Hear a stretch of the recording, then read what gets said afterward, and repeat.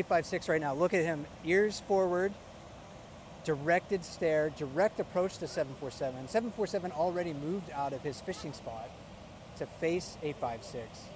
747 sort of sitting, in a, and that's kind of often in a more um, subordinate pose. Oh. So a bite threat from 856, 747 sort of trying to defend himself in that situation. 747 I think has the bulk, but 856 I think is taller. Um, and 856 is a, is a good fighter.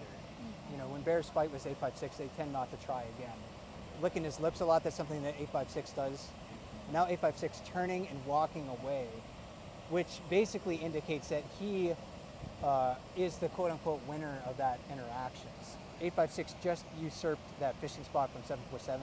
And if you were keeping score at home, you're wondering who's more dominant between these two bears. I think we have our answer. That was pretty clear to me that 856 is more dominant.